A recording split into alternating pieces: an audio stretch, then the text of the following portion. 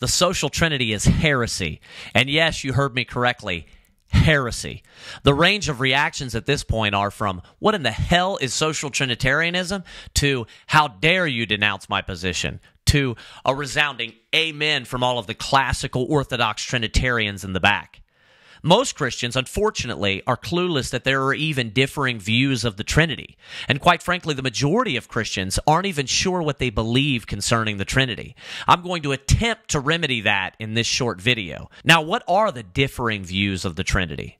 The first position is undoubtedly the biblical view of the Trinity, and of course, it's what I believe. It's properly known as the classical Orthodox Trinity. The term classical denotes that it is the view Bible believing Christians have adhered to historically. That should be assigned. Again, it's the classical view, meaning the traditional view of the Christian church for two millennia. It's called the classical Orthodox Trinity at that. The reason is because it's the biblical teaching of the Trinity. Orthodox literally means right doctrine or sound doctrine. And as you'll see in just a moment, it's apparent that this is the right biblical teaching on the Trinity. Now, to underscore or emphasize this point a little more, when I say that this is the position Christians have held for 2,000 years, what I mean is that every Christian writing up until and through the Reformation was representing and propounding the classical Orthodox Trinity, categorically and without exception.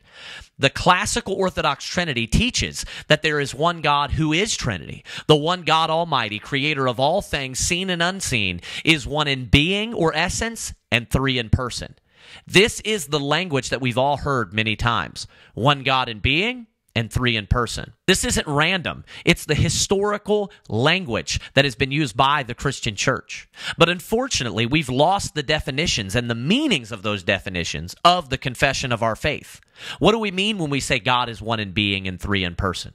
First, God as one in being simply means that there is only one God. There isn't more than one being that is God. This is monotheism 101.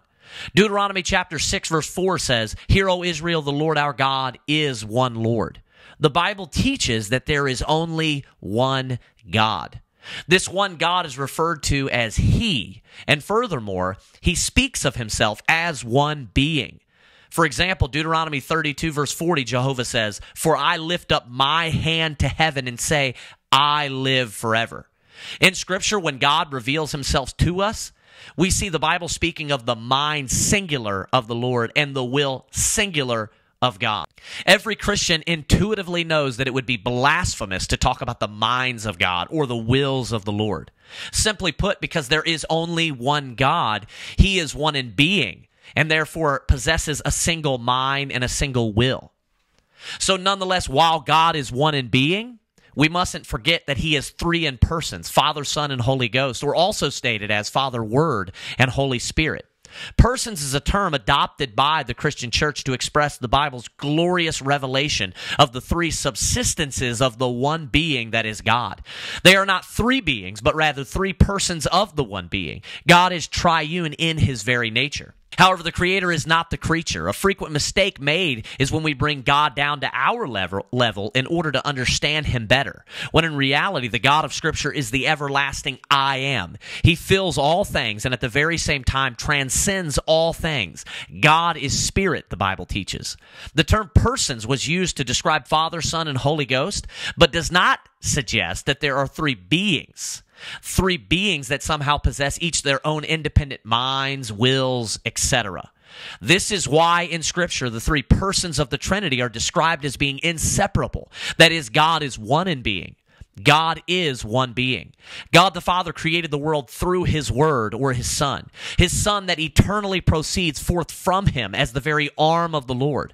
The power of the word is the Holy Ghost, which also proceeds forth eternally from both Father and Son. The greatest analogy is the sun. The core of the sun would be the Father. He's the source of all things. Jesus then is the brightness of the sun, and the Holy Spirit is the warmth.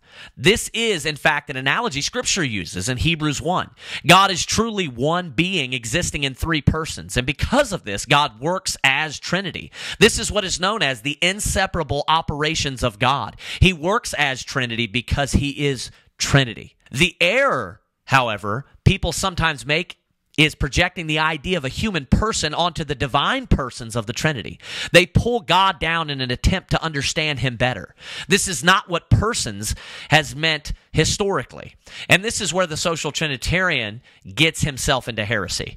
The social Trinity is, again, a minority and modern view of the Trinity held by liberal scholars. The root of the problem is to redefine the term persons and make three persons out to be human persons, which in turn, by definition, makes them out to be three distinct beings and three distinct gods. However, when it comes to God, we know that there is only one being, according to fundamental Christian theology.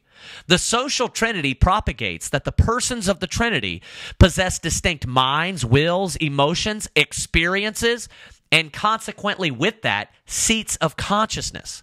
This view of the Trinity, although it isn't very common, is very dangerous. As a matter of fact, the social trinity is heresy. If the defining attribute of being is mind and will, God possesses a singular mind, singular will of God. And then the social trinity comes along and they assign to Father, Son, and Holy Ghost a mind and will and emotions, all of the properties of what makes God one in the first place. Your result would be three beings, three beings who each are God and therefore polytheism. Hence, social trinitarianism is heresy.